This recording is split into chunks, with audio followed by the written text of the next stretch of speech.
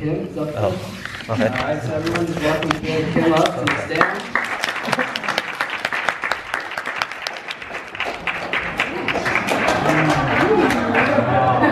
We're the Same time. We're the exact same thing. to, to tell you the truth, I wrote this exact same thing three times this week. Um,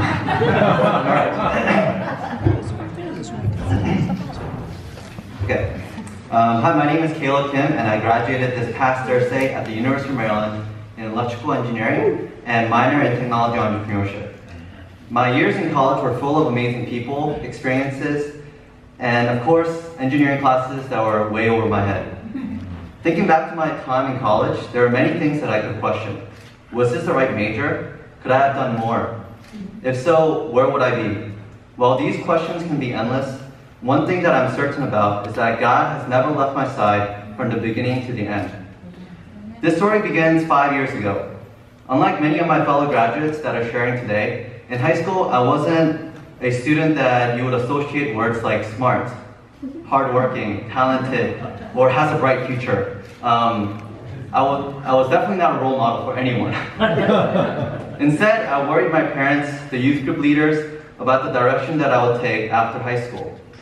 While I was terrible at writing, awful at remembering history, disinterested in chemistry or biology, one of the few subjects I actually enjoyed was math.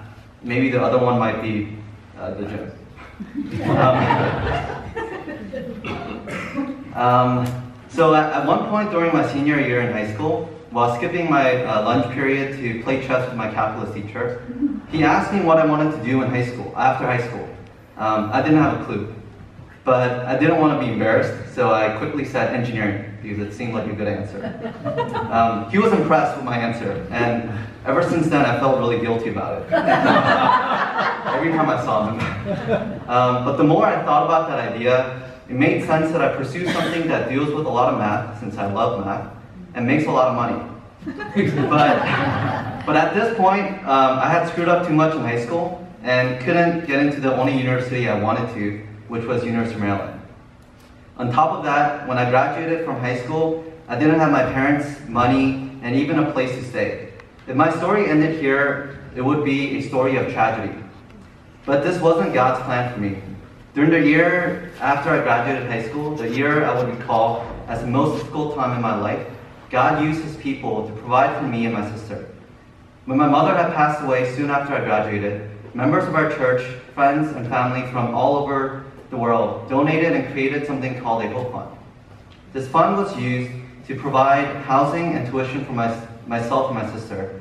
Furthermore, my, our church members would invite uh, us, me and my sister, to their homes to feed us and take care of us like family.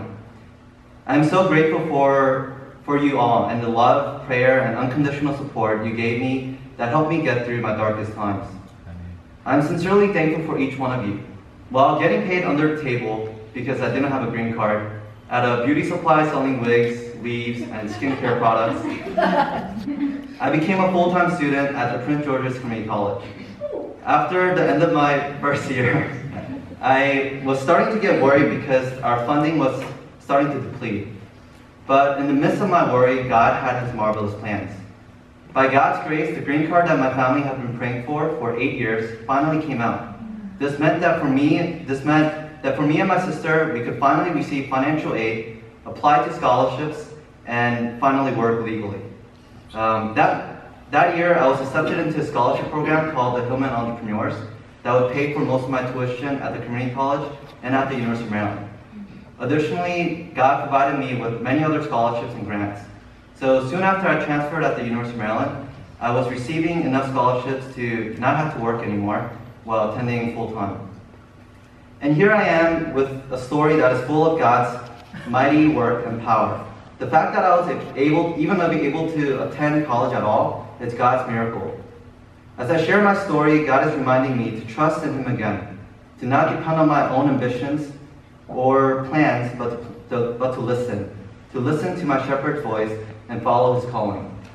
I'm also thankful that God called me to serve in the youth group for four years with great servants like Augustine and Sarah. I'm learning continuously to love and empower the youth. If my story can serve any purpose, My hope is that it will be proof that God's, God provides for his people and has a mighty plan even for a clueless teenager. Thank you.